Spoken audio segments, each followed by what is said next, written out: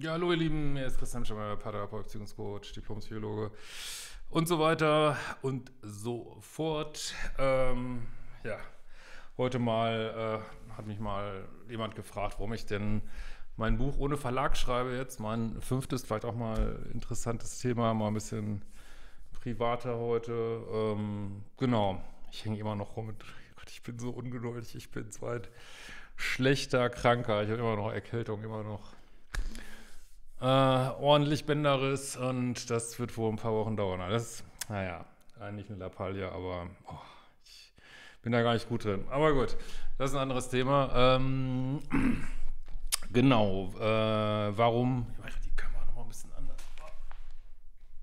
So.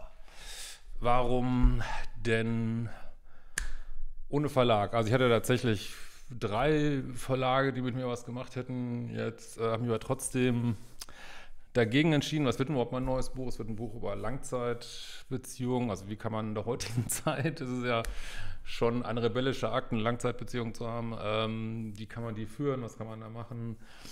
Und äh, gibt auch schon einen Titel, gibt auch schon ein Cover. Und ja, also erstmal, ich war ja bei zwei Verlagen, ähm, einem kleinen und einem den größten so.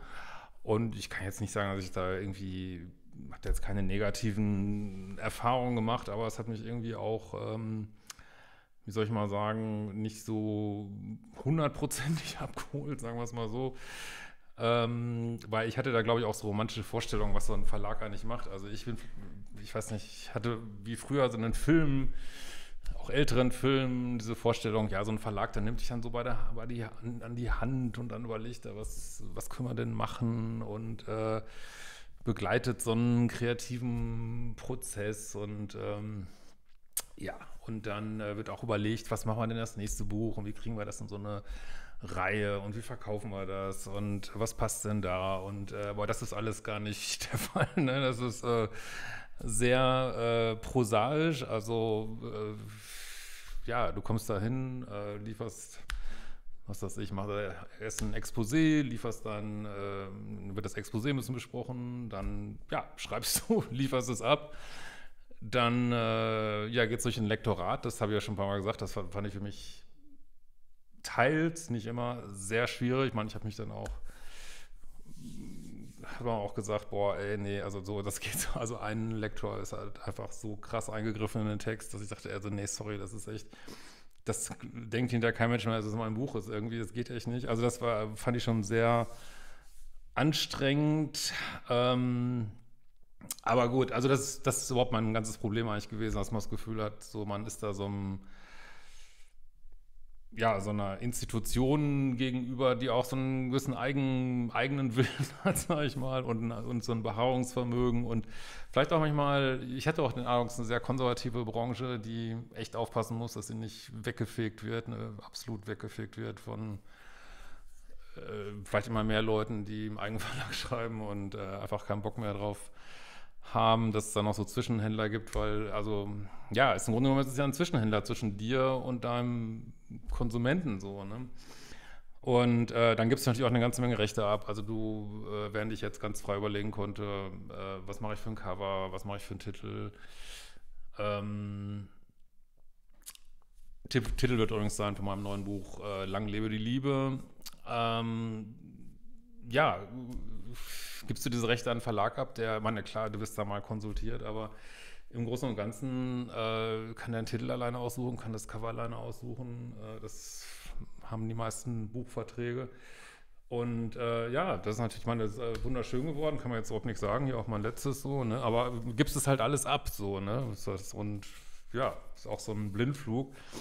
Und für die, weil das Witzige ist, für die Verlage ist es halt auch ein Blindflug. Die wissen auch nicht, was funktioniert, die wissen auch nicht, was, äh, was gut ankommt. Und ähm, ja, was am meisten gekauft wird. Ähm, und genau, und weil es so ein Blindflug ist, äh, ja, ist es halt so, dass die Verlage dann auch äh, Leute gerne haben, die ein großes Following haben. So, ne? weil dann kann man natürlich ein bisschen planen, wie viel wird denn davon wohl verkauft und was weiß ich. Und ich dachte aber, dass es irgendwie Also auch wieder meine romantische, naive Vorstellung, äh, der Verlag sorgt dafür, dass das Buch verkauft wird. Also der ist ja, der, das ist ja eigentlich, ich dachte immer, so ist die Aufgabe des Verlages, ne, dass der überlegt, ähm, weiß jetzt nicht, mit welchem Influencer arbeiten wir jetzt zusammen, mit welchem, ähm, was weiß ich, schalten wir da Werbung, schalten wir auf Amazon Werbung, äh, keine, also whatever, so, aber das ist, viel sagen, das ist nicht, gar nicht der Fall ist, das stimmt nicht, also es wird,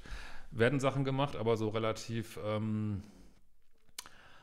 ja, so breit gestreut, auch am besten Sachen, die jetzt nicht zu viel kosten irgendwie und ähm, ja, und es wird sich vor allen Dingen auf dein Following verlassen. So, ne? Und wenn dein Following vielleicht äh, nicht so kauft wie geplant, ja, dann verlierst du auch ruckzuck äh, so eine Position, die du vielleicht vorher hattest. Also das, ich hatte einfach nicht, also gerade bei dem größeren Verlag, also nicht das Gefühl, dass, dass man, dass das wirklich so was Persönliches ist. Das ist auch wieder so eine naive Vorstellung, ne?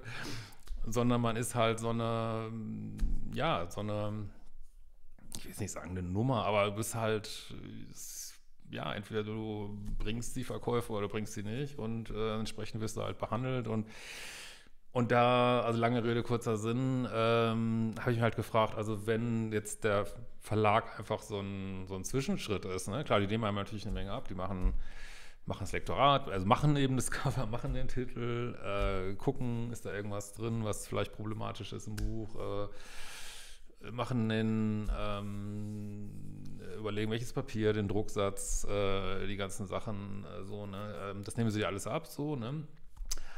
Aber sie kriegen natürlich auch ein großes Stück vom Kuchen, ne? sagen wir mal, wie es ist. Ne? Sie kriegen ein ordentliches Stück vom Kuchen und oft ähm, haben die ihr Geld schon gemacht, wenn du dein Geld noch gar nicht gemacht hast. So, ne? Das würde ich, kann man, glaube ich, so sagen. Und also, das sind nicht deine, das sind nicht deine Freunde, ne? Die, die wollen auch Geld verdienen. Und ich fand auch krass, wie man ja, dass natürlich erstmal versucht wird, oh, dem Autor, vielleicht müssen wir dem ja gar nicht so viel zahlen, aber ist ja auch alles, ich meine, es ist, ist alles okay, es ist Marktwirtschaft, ne? das ist alles, ich würde das alles nicht unter negative Erfahrungen abbuchen, aber es ist halt ein Zwischenhändler, wo ich mich frage, ähm, und das habe ich mich halt viele Wochen gefragt, jetzt, wofür brauche ich den eigentlich? Ne? Also wenn es einfach nur darum geht, an meine Zielgruppe äh, ein Buch zu verkaufen, das kann ich auch selber, ne? Habe ich mir, hab ich mir zumindest überlegt, kann ich auch selber da brauche ich keinen Verlag dazwischen. Vor allen Dingen kann ich dann auch so Sachen entscheiden wie, also was, was habt ihr euch zu Recht beschwert, dass es kein Hörbuch gibt? Mein Gott, ich bin ein Mann des Wortes, ne? also des gesprochenen Wortes.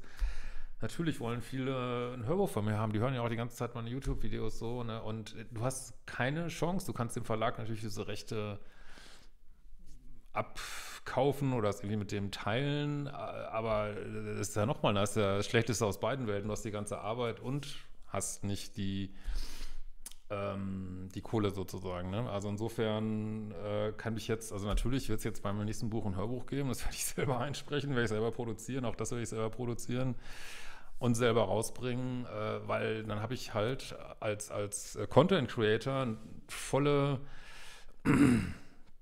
Kontrolle über den ganzen Prozess. Ne? Und wenn da irgendwas schief läuft, dann, äh, ja, dann liegt es an mir, dann liegt es an jemand anders und ähm, aber ich habe eigentlich in meinem Leben immer gute Erfahrungen gemacht, wenn ich Sachen selber in die Hand nehme. Und von daher ist es, ich habe auch einfach Bock, das mal auszuprobieren. Und wenn es dann nicht ist, wenn ich dann sage, nee, nee, war doch super geil, also hat doch viel mehr gebracht mit Verlagen, dann ähm, ja, nimmt mich vielleicht wieder im Verlag und gehe ich mal von aus.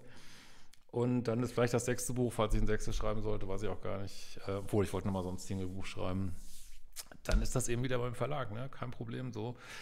Und ich habe mich auch ein bisschen schlau gemacht. Es gibt natürlich große, also Verkaufsschlager. Nehmen wir mal Fifty Shades of Grey, ohne Verlag geschrieben worden. Es hat dann irgendwann ein Verlag mit viel Geld aufgekauft, aber es ist äh, Self-Publishing gewesen. Ne? Und das sind viele Bücher. Ne? Also das sieht man denen ja auch teilweise gar nicht an. So, äh, dass ich das Gefühl habe, ich muss es einfach mal ausprobieren und ich liebe einfach Sachen auszuprobieren. Und vielleicht sagt man hinterher, nee, war doch alles geil mit dem Verlag und ähm, es war auch teilweise geil, vor allen Dingen von meinem ersten Buch, äh, damals am Luther Verlag, ich natürlich, es wird ja immer noch super viel verkauft, irgendwie, ne, vom Liebescode und ähm, ja, also wie gesagt, gibt eigentlich, es sind einfach Erwägungen für mich. Ich hoffe, das wird auch ein bisschen deutlich, aber ich kann jetzt nicht sagen, dass, dass da irgendwas jetzt äh, schlecht war oder so, überhaupt nicht. Und ich bin super dankbar, also gerade dem Luther Verlag, dass er mich da ähm, promotet hat als erster und auch dem anderen äh, hier ähm, Arcana Random House bin ich auch super dankbar, dass sie mir da Chance gegeben haben, mal im großen Verlag zu schreiben. War auch ein gutes Gefühl, dass man äh, mal überall ausliegt in der Buchhandlung. Aber ich frage mich wirklich, brauche ich das? Ne? Muss ich jetzt noch so einen Ego-Push haben? Äh, ja, jetzt kann ich noch, noch ein Buch beim Verlag oder kann ich mal sagen, nee, ich gehe jetzt mal ohne Zwischenhändler, äh, ich übernehme den ganzen kreativen Prozess, äh, ich kann Ihr könnt dann hinterher die Bücher über die Website direkt äh, kaufen. Ihr könnt direkt vielleicht bei mir runterladen, E-Book oder, äh, oder man, wird natürlich trotzdem irgendwann in den Handel kommen, ganz normal. Da gibt es ja auch eine Menge Möglichkeiten heutzutage. Ähm, und dann, ähm, ja, schauen wir mal. Ne? Also ich werde da, du musst, also wer, wer sich dafür interessiert, man muss dann halt mit Distributoren zusammenarbeiten ähm, die ja, das Buch in Handel bringen und dafür aber eine relativ kleine Marge kriegen, also viel kleiner als beim klassischen Verlag so. Äh, und dafür musst du aber halt, äh, da bin ich gerade dabei, so, äh, wie viel Lektorat man nicht, äh, klar, ich, ich kann das Ding jetzt nicht runterschreiben und so irgendwie in Handel geben. Ne? Es muss jemand drüber gucken, vielleicht brauche ich da ein Lektor oder zumindest ein Korrektorat. Ähm, gibt ja auch schon hervorragende digitale Hilfsmittel, die einem wahnsinnig viel abnehmen können. Also, also ich glaube, die Verlage müssen echt aufpassen, dass sie nicht wegradiert werden, weil kannst, mittlerweile kann man so viel machen mit, mit Tools und mit KI. Ähm, also jetzt nicht, dass KI ein Buch schreibt, aber ähm, zusammen mit einer KI ein Buch zu bearbeiten. Du kannst, es gibt so viele Möglichkeiten. Ne? Also ein Cover kostet fast nichts mehr und es ist ähm, Wahnsinn, ne? Also die müssen echt aufpassen so und müssen sich vielleicht auch mal überlegen, was, was bieten wir dem Autor, dass der kein Self-Publishing macht. Ne? Ich glaube, das wird irgendwann die Frage sein. Ne? Und nicht andersrum, dass der Autor der Bittsteller ist und, ähm, und der Verlag, ähm, ja, lässt sich mal nieder, das zu machen, sondern ja, ich glaube, es wird, man wird, irgendwann wird der Punkt kommen, wo die Verlage überlegen müssen, wie, wie bringen wir Leute da vom Self-Publishing weg. Ne? So, aber gut, aber vielleicht mache ich auch ganz andere Erfahrungen. Ich äh, konnte ja mal gerne in die Kommentare schreiben, was ihr dazu denkt. Ähm, und ähm, ja, also viele Fragen habe ich auch noch nicht geklärt. Wie gesagt, mit äh, wenn es dann mal fertig ist, wie viel Lektorat braucht man, wo macht man den äh, Buchsatz, äh, wo produziere ich mein Hörbuch, ähm, brauche ich dafür ein Studio, kann ich das hier in Bayern machen, äh, welche Qualität muss das haben, wo, auch da brauchst du wieder einen Distributor irgendwie, ne? wen nimmst du da? Ja, spannende Fragen, aber wird letztlich wird's, äh, also mein Buch wird, sei denn, es wird jetzt ein mega Bammer, das kann natürlich sein, dann wird es trotzdem irgendwie ausliegen, Buchhandlung und ansonsten werdet ihr es ja trotzdem ganz normal bestellen können, überall, auch über lokale Buchhandlungen und äh, auch bei Amazon. Ähm, aber ähm, ja, ist dann eben läuft dann über die sogenannten äh, Distributoren, die es dann einspielen. Ne? Man kann natürlich Sachen auch direkt bei Amazon einspielen, aber dann in dem Sinne ist dann Amazon der Distributor, aber ich wollte schon eine Lösung finden. Ich habe da auch schon eine im Kopf, ähm, die eben auch den deutschen Buchhandel dann direkt beliefert und solche Sachen, genau. Ja, äh, spannender Prozess. Ähm, vielleicht sage ich auch in einem Jahr Talle Schnapsidee. Ähm, ich kenne auch, im, also ich kenne, habe so ein bisschen Connection im englischsprachigen Raum. Da machen es, gibt es durchaus Leute, die zurück von Verlagen ins Self-Publishing gehen. Ansonsten kenne ich in Deutschland niemanden. Das ist eigentlich mal der andere Weg, aus dem Self-Publishing zum Verlag. Ähm, aber auch eine Kollegin von mir, die hat da ganz, äh, die in, in England und den USA verlegt, auch ganz, sie hat vorher Self-Publishing gemacht war dann äh, beim Verlag und die sagte auch, hm, also war eigentlich geiler Self-Publishing.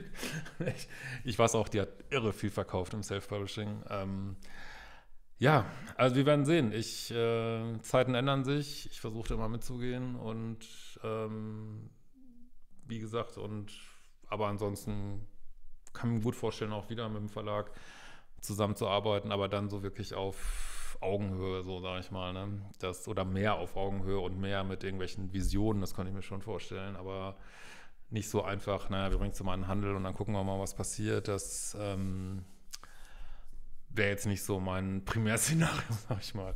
Ja, was denkt ihr dazu? Ansonsten ähm, hätte ich vielleicht am Anfang schon sagen sollen, werde ich heute Unbubble besprechen. Das, ähm, da ist ja 13, bei 13 Fragen, die haben mich ja netterweise eingeladen, Pro und Contra Dating-Apps. Äh, werde ich heute eine Reaction machen, eine Live-Reaction. Also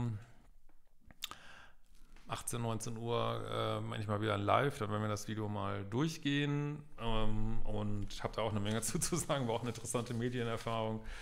Und ähm, ja, dann vielleicht bis später. Ciao, ihr Lieben.